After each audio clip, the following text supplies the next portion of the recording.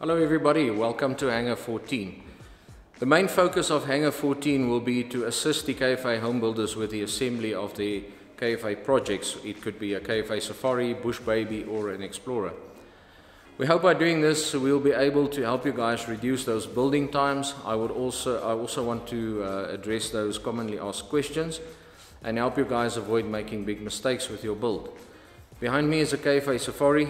It was approximately 90% built by a customer and the customer wants me to complete the engine avionics and propeller installation. Once I've completed this project, I will take it through a test flying phase. Uh, the test flying starts with some paperwork that we have to do with the Civil Aviation Authority, whereafter we'll be issued with a proving flight authority or a test flight permit, uh, as they would be called in other countries. The test flying phase could be anything from 25 to 40 hours. During that period, I'll be uh, sharing a little bit uh, about the test flying, what to look out for, the pitfalls and dangers, and so on.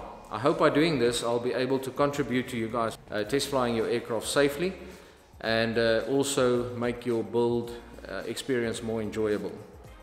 If you guys like our channel, please do subscribe. Also let me know those comments and suggestions as to how we can improve the channel and also if you would like me to focus a little bit more on certain areas of the build. After this uh, KFA Safari build, we'll be starting a KFA Explorer from scratch and then I will uh, cover all the assembly aspects. At the moment, we'll just concentrate on the engine avionics and propeller installations as well as a landing gear upgrade from the bungee system to the KFA Buffalo suspension. So I hope to see you guys on the next one.